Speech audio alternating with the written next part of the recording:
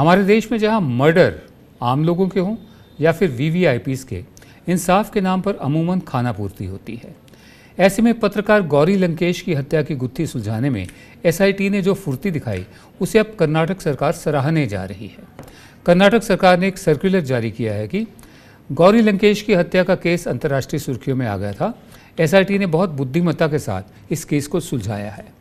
जिस वक्त जाँच शुरू की गई थी, उस वक्त गृह मंत्री ने कहा था कि इसे सुलझाने पर 25 लाख का पुरस्कार दिया जाएगा। ये कर्नाटक राज्य की जो सरकार है, उसका कहना है।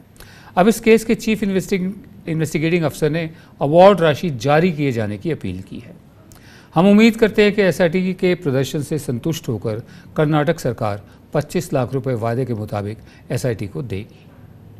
गौरी लंकेश का 5 सितंबर 2017 को बेंगलुरु में उनके घर पर मर्डर कर दिया गया था।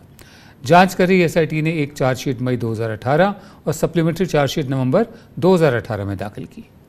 सप्लीमेंट्री चार्जशीट में सनातन संस्था को भी शामिल किया गया है। इस चार्जशीट में कहा गया है कि गौरी लंकेश की हत्या की साजिश करीब पाँच लोगों ने रची थी।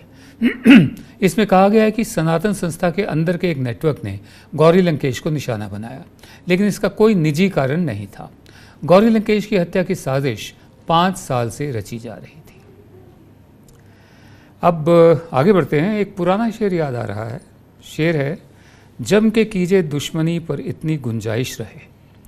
जम के कीजे दुश्मनी पर इतनी गुंजाइश रहे, फिर कभी हम दोस्त बन जाएँ तो शर्मिंदा ना हो। ममता बनर्जी, नरेंद्र मोदी के शपथ ग्रहण में शामिल होने जा रही हैं। एक गीत सुनिए। कुछ